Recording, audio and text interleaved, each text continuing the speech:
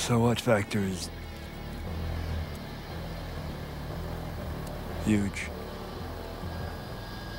In love.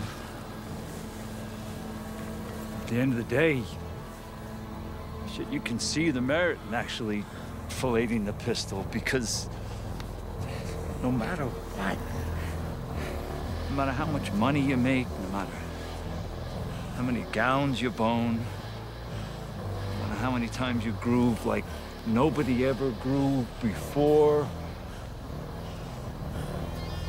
in a hundred years or so, you're dust. Crumbling soot, pine box that our loved ones went all out for so that you could be crumbling soot in a pine box. In a J.C. Penney suit, no less. Why? Because we never wore them in life, so they just figure, what the fuck, and they stick us in a cheapo one. Better than the concert t-shirts and the ripped out jeans you wore in life, and what the fuck would he know about Giorgio Armani anyway, huh? Giant fox. You want Daffy individual. Individual?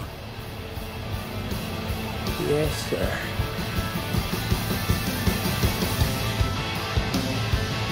J.C. Penney. You little freak don't deserve to go down to no fucking J.C. Penney. Even a goddamn freak. Even a